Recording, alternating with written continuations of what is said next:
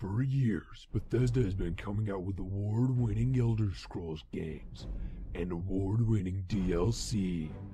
Most notably so with their new installation, The Elder Scrolls Online. You may have heard of the Thieves Guild DLC.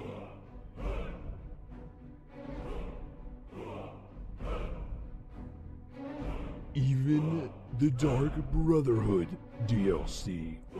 But this next DLC, no one was expecting.